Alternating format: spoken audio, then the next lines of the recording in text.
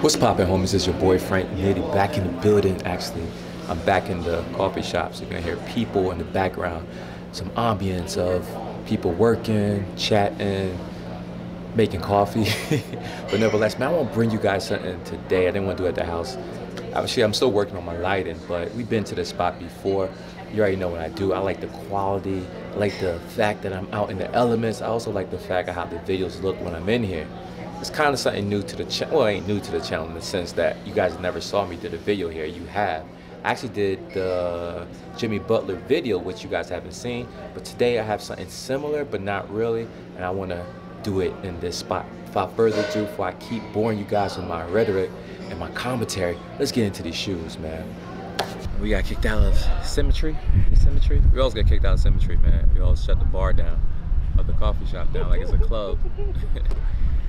so we outside. What's this place called? Sayulita? Sayulita. You want the box. Relax. She's putting her hands all in my, my video. Also got Corona. Some nachos on deck. Yo, it's kind of noisy out here, so I'm gonna take it to the house and finally do this review, man. Been waiting to do this for a long, long, long time. And um, I guess this is not the spot to do it, so I'm gonna see you out the crib. Every time I try to do a vlog at Symmetry or anywhere downtown Ocala, it always ends abruptly. Either the noise of the sounds which prevent us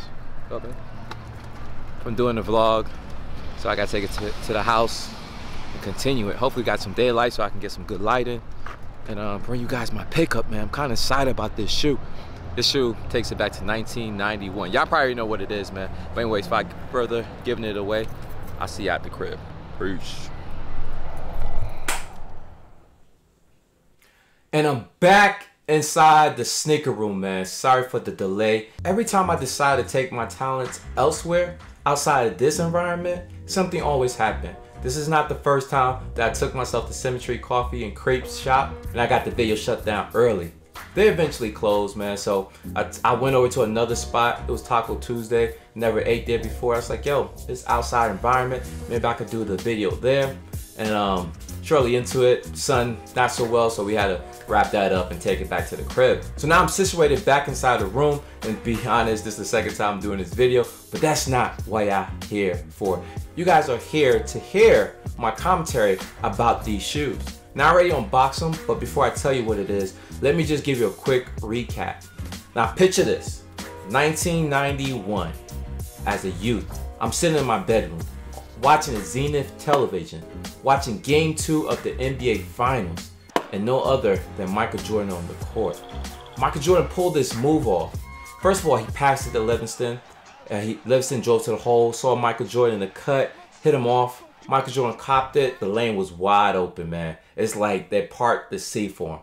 Michael Jordan came through like he's about to dunk it, but pulled back and then switched hand and laid it up with his offhand, his left hand off the glass to a point they called timeout. The Lakers called timeout. It's like, yo, I can't believe he just did this type ish to us, man.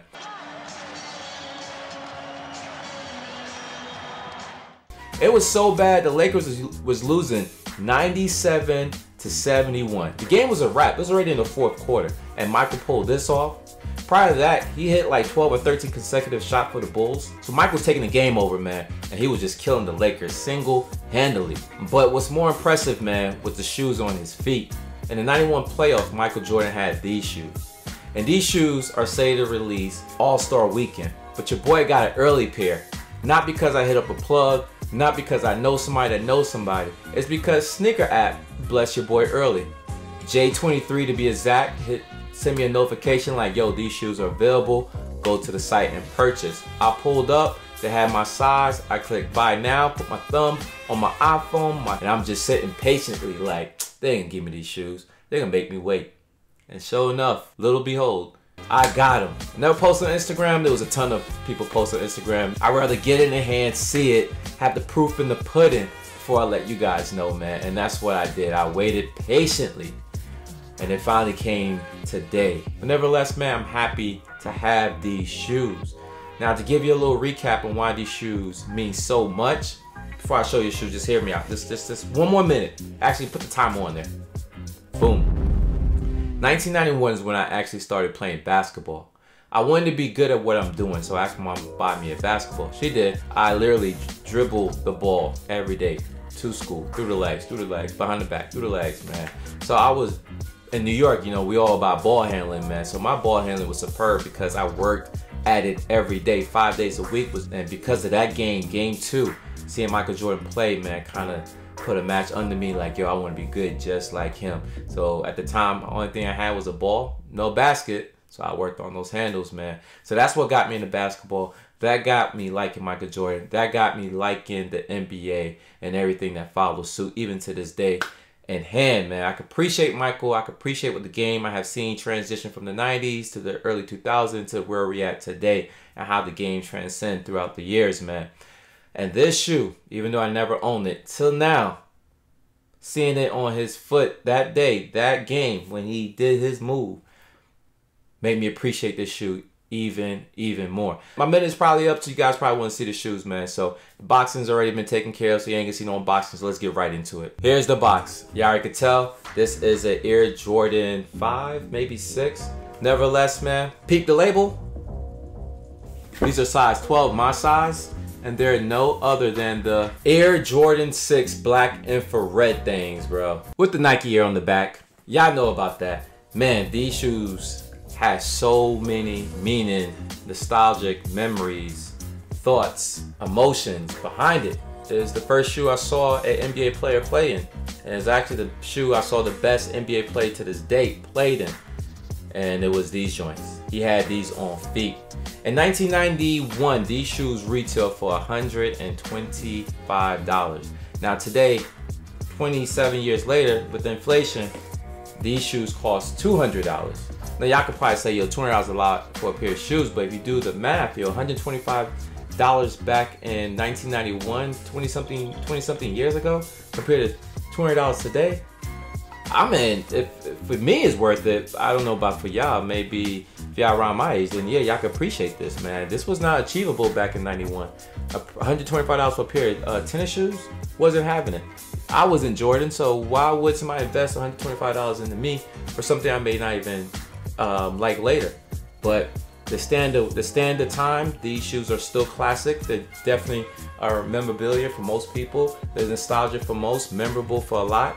And for me, it's all the above, man. I check I can check off a lot of memories on this shoe.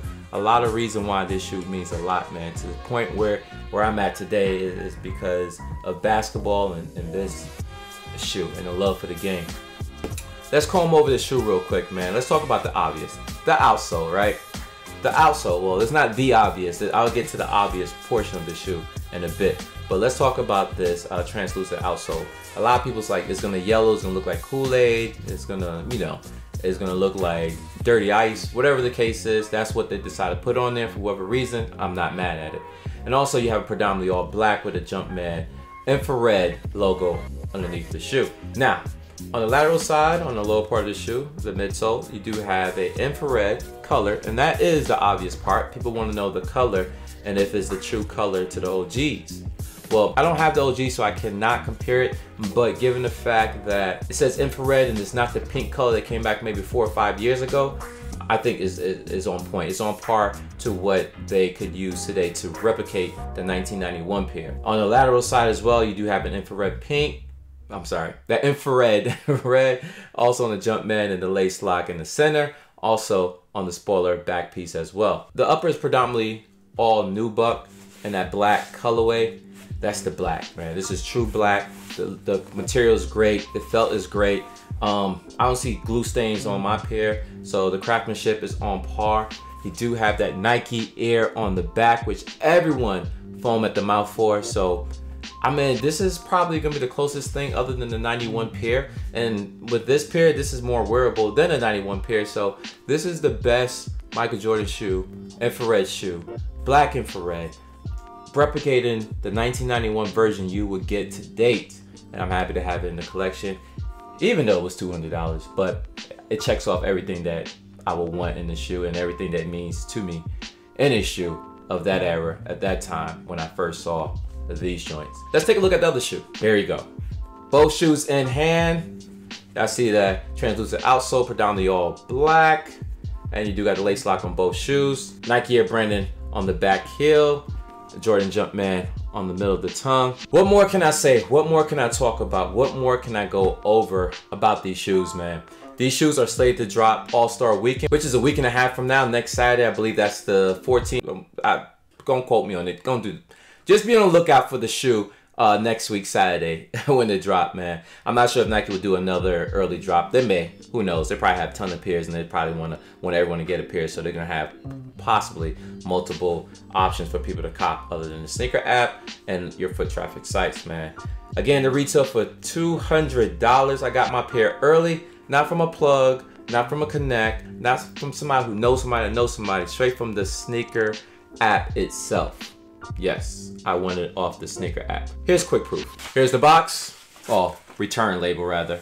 Man, I really appreciate you guys taking time to listen to my story about these particular shoes. I know a lot of people want these shoes for whatever reasons, but this shoe has so many significant reasons for me to want to cop it, and I'm happy to have them early. Not because I'm gonna rock them early or anything like that, just so I feel peace of mind securing a pair and don't have to worry about day of release. So I'm happy for that, man. And I'm also happy for the fact that I got a lot of you guys who support the channel. A lot of you guys who hit me up on the DM or IG. Always showing love, always showing appreciation, leaving your comments down below, man. I really appreciate each and every single one you guys for supporting your boy for throughout these years, man. So I'm gonna continue grinding, I'm gonna continue making these videos, and I'm gonna continue hitting you guys in the head with these Nike outlet videos as well, man. So I wanna give you guys a quick review of these infrared sixes. Let me know your thoughts down below, man.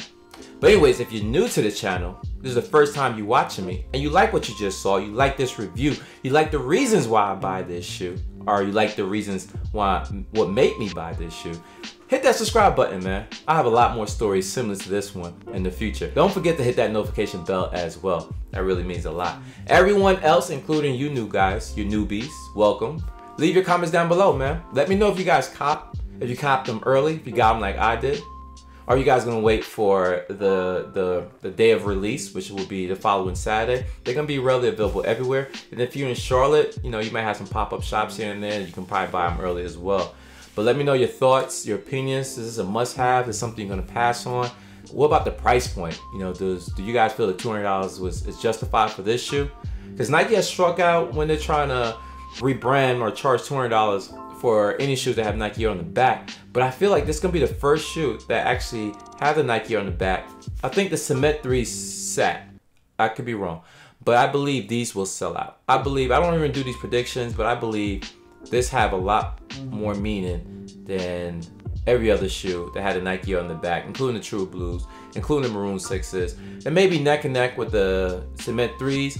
But I feel like this this kind of took a notch over the Cement Threes. Jordan did one a slam dunk contest, but he actually won the NBA Finals in this shoe, in this silhouette. So I feel like I have a I have a little notch under his belt, and potentially would resonate a lot better and probably that price point may be more well received for the type of shoe this is. But anyways, that's just my opinion. I could be wrong, eh, right? We all are. But anyways, I want to hear y'all comments down below to sign off, man. Until then, until then, until the next pickup, the next Nike outlet video, you already know my slogan. Good to go.